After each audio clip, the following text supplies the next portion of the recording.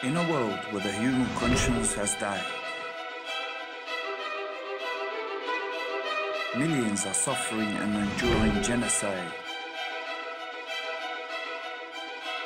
This is when it all started.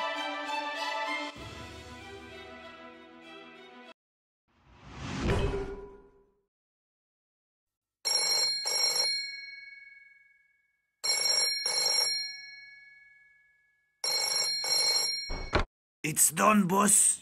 Good. What? Boss, they're outside. There's thousands of them. Who's outside? They're all protesting and they're calling for reforms. Then shoot at them, you idiot! Kill some to scare the rest away! Consider it done, boss. Syrian troops open fire on protesters with live ammunition.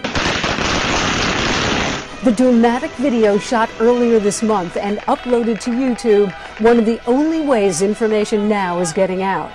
Since the Syrian You idiot! I said kill some and scare the rest away! Not have us all over the news! Boss, it's like they were scared of us. They kept saying we want freedom. We shot two at first and then the rest ran away and then came back and then treated the injured and then continued protesting. So then we shot 15. Mm, okay, keep doing your thing, but target mainly the ones filming the protests and the ones leading it.